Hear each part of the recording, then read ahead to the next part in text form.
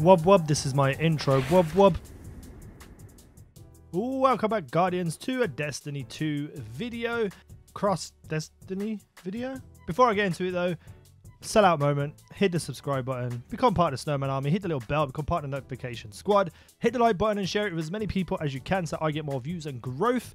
And leave some comments telling me what you think about this idea or ideas because this is three things, and by three, I mean three, three, three, not free as in it doesn't cost anything. Three, three I can't say it, I can't do it. Three things in Destiny that I don't want to see return in Destiny 2. Now, these things are just my opinions and my ideas. If people like and want these things in the game, I would not be mad about that. You guys are entitled to feel enjoyment in things that I don't.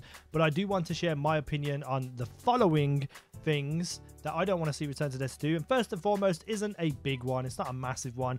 It's just a little one. And that is useless vendors. Now, by useless, I mean not completely useless. They have no use whatsoever. Useless after time.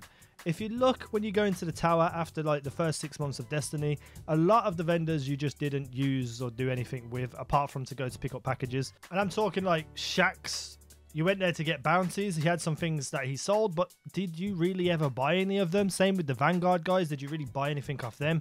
The speaker, did you go and buy anything off him? Because I don't remember the last time I went to the speaker. I think the only time I've ever bought from something from the speaker is when I was still in blue armor and needed a blue ghost. You don't need to get rid of these characters. Just make their interactions with them something other than them just being a shop that you never use. And over time, other places are going to get the same way. Look at Eva Levante and all the, the emblems and shaders that she had. Once you got what you got, you never went back. So, you know, they became just a pointless addition to the game. They were just standing around not really doing much. And I don't want that to be a thing. Now, what you could do is make their inventories change dramatically different over time so that you have a reason to go and visit them and look for things. The factions did this well with different perks and weapons every single week, and the quartermasters, of course. But these actual useless vendors and shops that were there were changing or whatever, or didn't change, and they just became useless additions to the game and didn't really push the game forward. So if you don't bring them back or you do bring them back, I want to see changes in how you interact with them and reasons to go to them other than just story mode or just to pick up packages. I want a reason to go to them, look through their inventory and buy some stuff.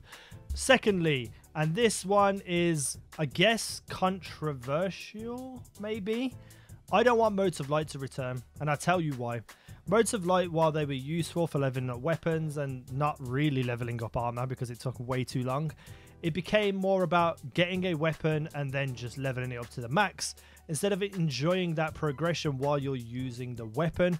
I want to see a new system put in place where when you're using the weapon and killing the weapon, you gain your perks and growth of your weapon, progression of your weapon a lot faster than we have seen in Destiny. I would even like to see something dramatic like having quote unquote light level attached to your weapons and armors, where if you use them more, it raises the light level up. So not only are you getting progression through your perks, the more often you use it, the higher the light level becomes until you hit a max light level on it. That would make me feel, you know, satisfied and like I have worked to get to where I am at instead of just spamming motes of light and getting the the best weapon with all the perks and it's already at the highest light level because of infusion. Now how long would I like to take for these weapons to get to max light level and max perks? Well let's just put it this way about 10 times faster than previously if you didn't use motes of light.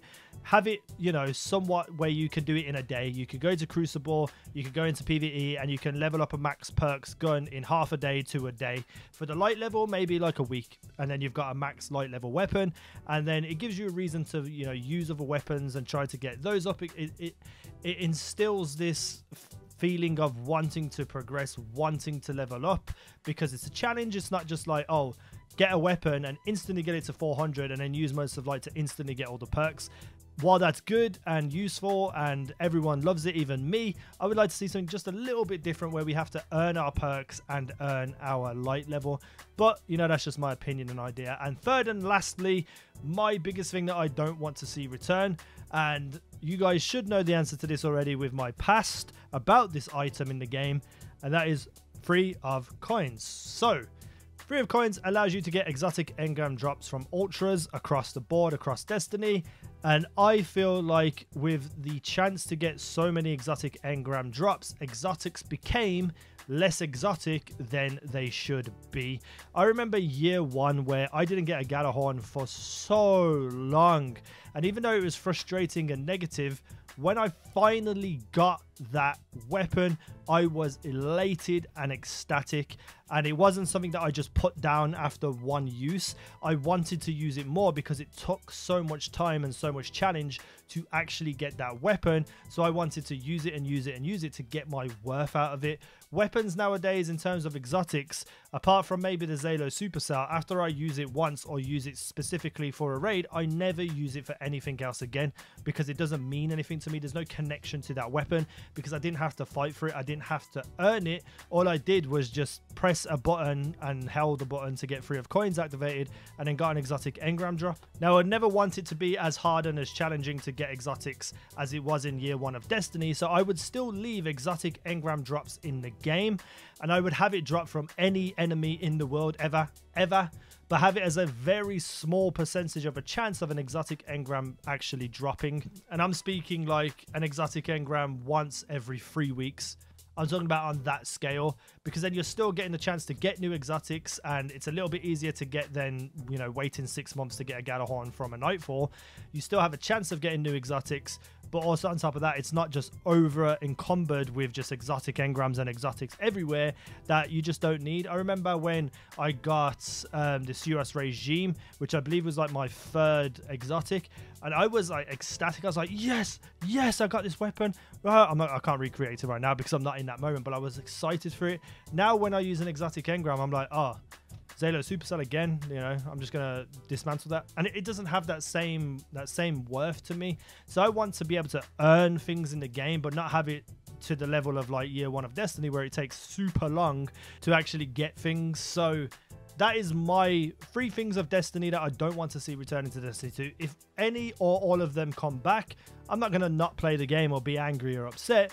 I would just like and prefer a game without these aspects in it to be more enjoyable for me personally. But I want to know what you guys think because this is your channel too. Leave some comments down below. The three things that I've mentioned, would you want to see them back and why? Do you agree with me and why? And is there anything I've missed that you think shouldn't come back from Destiny 2? Let me know in the comments section. Hit the like button on this video if you enjoyed it. Subscribe if you're new. All that good stuff. Thank you for watching. I'll be there. You guys have been awesome.